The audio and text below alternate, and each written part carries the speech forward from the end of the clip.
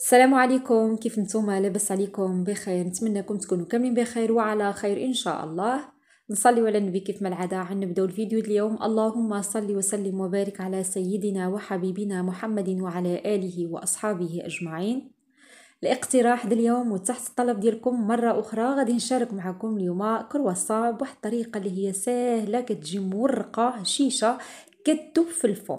تقدروا تحضروها بحشوة اللي هي حلوة كيف ما تقدروا تحضروهم بحشوة اللي هي مالحه مع الطريقة ديال الاحتفاظ بهم في المجمد. دابا ما غادي نزيدش نطول عليكم أكثر ندوز نشوفوا المقادير وطريقة التحضير ونتمنى يا ربي الوصفة اليوم أو الفيديو اليوم ينال الإعجاب ديالكم. بسم الله على بركة الله عندي هنايا غادي نحتاج كأس ونصف من الماء الدافئ ما يعادل 300 ملل بالنسبة للكمية ديال الماء كتبقى على حسب الكمية اللي بغيتو نتوما ديال الكرواسون غادي نضيف عليهم ملعقتين كبيرتين من الحليب بودرة أو هذا الحليب المجفف بالنسبة لهذا الحليب اخوتي تقدروا تعوضوه بنصف كاس ديال الحليب يعني اذا ما كانش عندكم حليب بودرة غادي تعملوا كاس من الماء ونصف كاس من الحليب هنا غادي نحتاج ملعقتين أو ثلاث ملاعق عفوا من السكر الخشن أي سكر سنيدة والسكر كيبقى على حسب الذوق تقدروا تستعملوا من ملعقتين حتى ثلاث ملاعق. عندي ملعقة متوسطة من الخميرة الفورية أي خميرة ديال الخبز.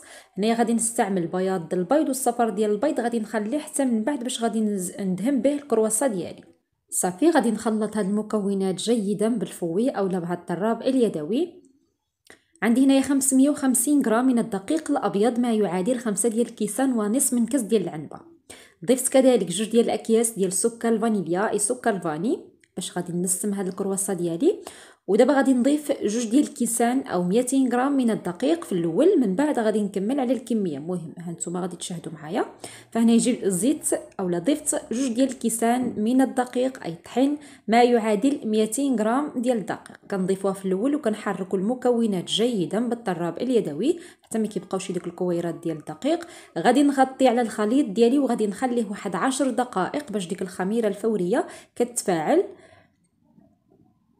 صافي على هذا الشكل هذا كيف ما ذكرت معكم فقط واحد عشر دقائق. هنا من بعد ما دازت ديك العشر دقائق غادي نرجع للخليط ديالي وغادي نزيد له الكمية المتبقية ديال الدقيق. هذا كان الكأس الثالث. كل كأس كنضيفو كيوزن 100 غرام. هذا كان الكأس الرابع. غادي نضيف واحد نصف ملعقه صغيرة من الملح وكذلك ربع كأس من الزيت نباتية ما يعادل 50 مليلتر. صافي وغادي نبدأ نجمع العجينة ديالي. فبالنسبة للكمية ديال الدقيق أنا بالضبط خدت مني 550 غرام ديال الطحين أي الدقيق يعني خمسة ديال الكيسان ونصف. ولكن ماشي شرط نتوما غادي تبداو تضيفوا الدقيق حتى تحصلوا على القوام اللي غادي نشارك معكم. العجينة كتكون رطبه ولكن ما كتلتصقناش بزاف في يدنا. صافي كنبدا نضيف تدريجيا هنايا كنكمل على الكمية المتبقية. هنايا صافي هاد نصف الكأس باش غادي نكمل 550 غرام ديال الدقيق. بالنسبة للكمية ديال الماء اللي استعملت أنا ديال 300 ملل ديال الماء. وكيف ما ذكرت معكم تقدروا تنقصوا من الكمية ديال الماء باش تحصلوا غير على كمية اللي هي بسيطة أو تضاعفوا المقادير. كيبقى كيبقى لكم الاختيار. صافي هنا من بعد ما آه، ضفت الكمية كاملة ديال الدقيق غادي نبدأ نجمع العجينة ديالي وندلكها واحد شوية واحد 3 ديال الدقائق لا أكثر. فهذا هو القوام ديال العجينة اللي كنحصلوا عليها عجينة اللي كتكون رطيبة ولكن ما كتلتصقناش بزاف في يدنا هانتوما كتشاهدوا معايا. صافي غادي نجمع العجينة ديالي في الوسط وغادي نغطيها بالبلاستيك غذائي. هانتوما ما كتلتصقليش في يدي. غادي نغطيها كيف ما ذكرت معكم بلاستيك غذائي وغادي نترك العجينة ديالي تختمر حتى يتضاعف الحجم ديالها. فهنايا غادي نحتاج باش غادي نورق العجينة ديالي. عندي الزبدة اخترت نستعمل زبدة حيوانية للأكل. تقدروا تستعملوا هذا النوع هذا اولا تستعملوا زبدة ديال التوريق. ولكن ما تقدروش تستعملوا زبدة نباتية اللي كتكون في العلب لأن كتكون فيها كمية كثيرة ديال الماء وغادي تعذبكم ملي غادي تجيو تسرحوا العجينة ديالكم. فيستحسن تستعملوا هذا النوع هذا ديال الزبدة اللي كيكون ديال الأكل كيكون القوام ديالو. يعني زبدة حيوانية ديال الأكل كتكون القوام ديالها قصح شوية. خديت منه 125 غرام. كيف ما شاهدتوا معايا العلبة ديالي كانت فيها 250 غرام استعملت فقط نصف العلبة حكيتها أي بشرتها وغادي نضيف عليها ملعقتين متوسطتين من دقيق النشا أي نشا الذرة ما يعادل واحد 30 غرام واحد الملعقة صغيرة من خميرة ديال الحلويات أي baking powder ما يعادل واحد 5 غرامات. صافي وغادي ندخل هذا النشا مزيان مع ديك الزبدة من بعد ما حكيتها. يعني كنلبس ديك آه، القطع ديال الزبدة مزيان بهذا النشا. كنعملوا هذه الطريقة خوتي باش الزبدة ما كتخرجناش من من العجينة وما كنضطروش نعملوا ديك عملية ديال التوريق يعني نطلقوا العجينة وندخلوها للمجمد. فهيدا ما غادي نضطروش ندخلوها بزاف من الثلاجه صافي هنا العجينة ديالي من بعد ما اختمرت وضاعف الحجم ديالها كيف ما كتشاهدوا معايا. كنخويها من ديك الهواء اللي كيكون فيها وغادي نرش سطح العمل ديالي بالكمية ديال الدقيق وغادي نسرح العجينة ديالي. العجينة ملي كترتاح فهي دغيا كتطلق لكم. صافي غادي نحاول نسرحها ونعطيها واحد الشكل تقريبا مستطيل. فهذا هو السمك اللي كنخلي العجينة ديالي يعني ما كنرقش بزاف فقط غير شوية وصافي. غادي نجيب ديك الخليط ديال الزبدة اللي كنا حضرنا مع ديك النشا وكذلك الخميرة ديال الحلويات أي baking powder غادي نسرحها غير في نصف العجين ما كنسرحهاش العجينة كاملة. مهم كيف ما كتوضح لكم الصورة. كنحاول نفرق ديك القطع ديال الزبدة مزيان. فبالنسبة لهاد الطريقة ديال الزبدة أه تقدروا تعتمدوا الطريقة اللي كنت شاركت معكم في العجين المورق حتى هي صراحة كتجي سهلة جدا. أنا بغيت نبدل لكم لأن حتى هذه سهلة وما كنضطروش كيف ما قلت لكم نبقاو ندخلوها بزاف ديال المرات من الثلاجه دابا من بعد ما شديت عليها العجينة غادي نقرص على الحاشيه ديالها مزيان باش تشد العجينة مع بعضيتها. وغادي نسرح العجينة ديالي مباشرة. يعني ما كندخلوهاش للثلاجه كنسرحها مباشرة كنحاول نعطيها شكل مرة أخرى مستطيل. هاد المرة غادي نرقق العجينة ديالي.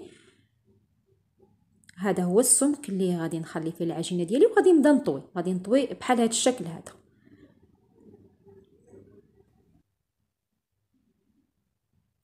فانتم كتشاهدوا معايا الزبدة ما كتخرجناش تماما لأن ديك النشا بحال اللي كتزيد تشبر لها القوام ديالها مع ان الزبدة اللي استعملت أنا حيوانية يعني القوام ديالها كيكون قاصح شوية ماشي بحال الزبدة ديال العلب ديال البواطاس كتكون خفيفة يعني زبدة نباتية كتكون فيها كمية كثيره ديال الماء.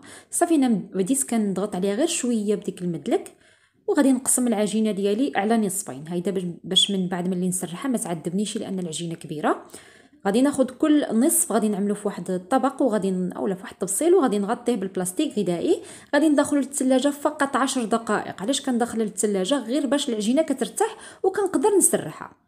يعني ما كتعذبنيش كتكون رتحت وكتسرح لي بسرعة. فقط واحد عشر دقائق لا أكثر. فهنايا من بعد ما آه، خليت العجينة ديالي واحد عشر دقائق كيف ما ذكرت معكم خرجتهم مباشرة كنبدا نسرحها.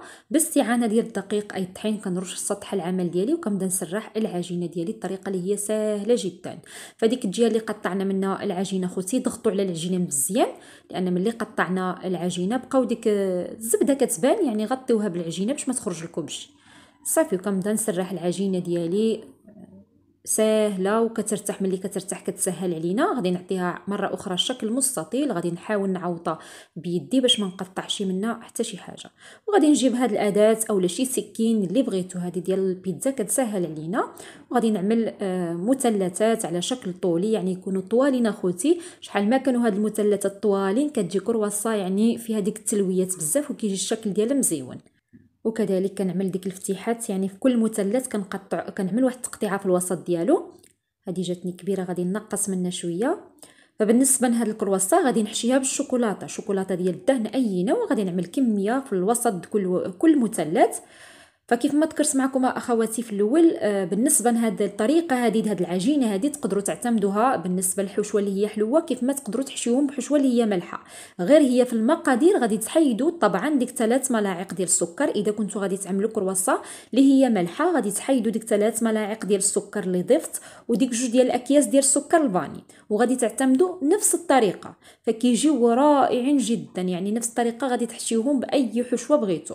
ضروري إن شاء الله غادي نشارككم معكم مرة أخرى بحشوه اللي هي مالحه إن شاء الله يا ربي صافي غادي نكملها. نتوما كتشاهدوا معايا الطريقة اللي هي ساهله خوتي كنلوي الكرواسا غير هو ديك القاع ديالها كنجبدو شوية بيدي ها نتوما كتشاهدوا ملي كنكون على نوصل كنجبدو باش كتجي التلوية كبيرة يعني كتلوى بزاف على بعضيتها وكيجيو يعني ديك الطبقات فوق بعضيتهم مزيونين.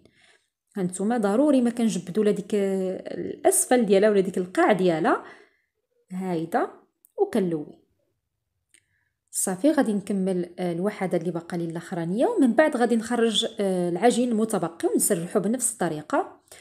هانتوما كتشاهدوا معايا هنا الصفيحة ولا الصينيه ديال الفرن ديالي. أنا فرشت لها ورق ديال الطبخ اولا ورق ديال الفرن اللي ماشي ضروري. إذا ما كنتوش متوفرين عليه غادي ترشوا الصينيه ديال الفرن ديالكم اولا الصفيحة ديال الفرن بكمية بسيطة ديال الدقيق وتعملوا الكرواسة ديالكم غير باعدوا بين كل وحدة وحده باعدوا خليوا مسافة بيناتهم لأنه ملي كيطيبوا في الفرن كيزيد يكبر الحجم ديالو. هادو غادي نخليهم بدون حشوة يعني غادي نخليهم غير هيدا لأن كيعجبوني من بعد ندهنهم بالجبن أو بالمربى يعني غادي نخليهم بدون شوكولاتة وهذوك الشوكولاتة عملتهم على حسب الأطفال ديالي فغادي نكمل ونخليهم يرتاحوا واحد عشر دقائق. فهنايا من بعد ما ساليت كيف ما ذكرت معكم خليت الكرواسة ديالي ترتاح واحد عشر دقائق وخديت ديك الصفر ديال البيضة اللي كنا احتفظنا به من المقادير ضفت له قطرات ديال الحليب وخفقته مزيان وكندهن الكرواسة ديالي مزيان على هذا الشكل هذا. هذا الأثناء كان عندي الفران ديالي كيسخن على درجة حرارة 180 درجة. غادي ندخل الصفيحة ديالي في الوسط ديال الفرن وغادي نقص من درجة الحرارة من 180 ل 150 درجة. يعني الكرواسة خصها تطيب على نار اللي هي مهيلة. النار من الأعلى ومن الأسفل. كنخليوها كتاخذ من 20 حتى 25 20 دقيقة. المهم حتى كتحمر مزيان وكطيب على خطره صافي وكنخرجها بحال هذا الشكل هذا كتجي مورقة والشكل ديالها رائع كيف ما كتشاهدوا معايا. هانتوما كتشاهدوا ديك الشوكولاتة ما كتخرجش منها. وحتى إذا عملتوا الحشوه اللي مالحه فطبعا ما كتخرجش منها. أنا غادي نقسم معكم وحده هانتوما كتشاهدوا معايا كيجي ديك الورقات كل ورقة مفروقه على أختها وكيجيو رطيطبين وكيذوبوا في الفم. فكنتمنى يا ربي الوصفه اليوم تكون نالت الإعجاب ديالكم والإستحسان ديالكم. غادي نوريكم طبعا كيفاش كنحتفظ بهم يعني الطريقة اللي هي سهله كيف ما غادي تشاهدوا معايا.